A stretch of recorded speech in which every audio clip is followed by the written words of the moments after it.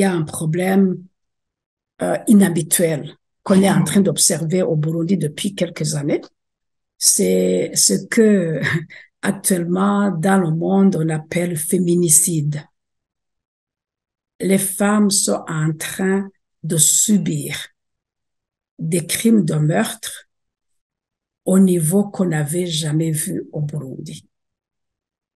C'est étrange, c'est bizarre, personne ne peut s'expliquer, personne ne comprend ce qui est en train de se passer, mais les femmes sont en train d'être tuées en grand nombre dans notre pays et c'est ça fait mal, c'est regrettable. Aujourd'hui, euh, partant de ce, ce cas particulier de la dame, euh, Madame Emanuela Niragira, qui a été tuée la, euh, cette semaine, euh, la nuit du 22 au 23. Cette femme, elle travaille, elle est enseignante, elle fait son petit commerce, elle est dans le mouvement, euh, elle est dans le, mouvement des, femmes de, du, du parti au pouvoir Rugamba, qu'est-ce qui peut causer sa mort dans tout ça? Est-ce qu'il y en a qui se disent que probablement elle a été tuée euh, à cause de son frère? Mais là aussi, là aussi, ça ne s'explique pas. Mais le problème, c'est que c'est des situations qui sont en train de se multiplier, des cas qui sont en train de se multiplier, de telle sorte qu'on se dit, il faut absolument agir, il faut absolument faire quelque chose. Pourquoi les femmes sont-elles tuées en si grand nombre aujourd'hui? Pourquoi? Qu'est-ce qui a changé dans la société burundaise qui fait que ce qui était interdit dans notre culture, ce qu'on appelait kirazira, n'est plus Kirazira aujourd'hui? Aujourd'hui, les femmes sont tuées comme des, bêtes, comme des animaux. Et je ne vois pas, je ne vois pas une, une action musclée de la part des dirigeants pour dire halte à ce genre de situation que le Burundi n'avait jamais connu. C'est pourtant un problème qui affecte pas seulement les femmes, mais toute la société. C'est un problème qui affecte nos valeurs. C'est un problème qui affecte notre identité de Burundais et c'est un problème qui affecte nos familles. Euh, parmi les nombreux cas que nous avons connus, il y a beaucoup de femmes qui sont tuées par leur mari.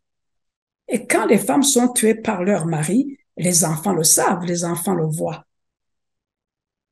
Et est-ce qu'on se demande parfois ce que vivent ces enfants, ce que ressentent ces enfants, ce que vont être ces enfants qui auront vécu dans un environnement comme ça?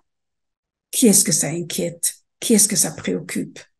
On a vu le cas de cette dame dont on a parlé récemment, Aline, qui a été tuée par son mari.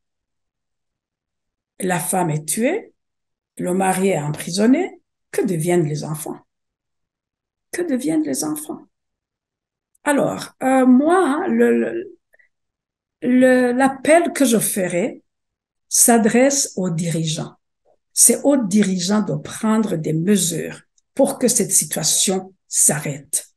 C'est aux dirigeants de prendre des mesures pour redresser la société burundaise, parce qu'il faut la redresser. Il faut remettre les choses sur les rails, il faut ramener la culture, notre culture, notre identité, et il faut ramener l'ordre, la justice.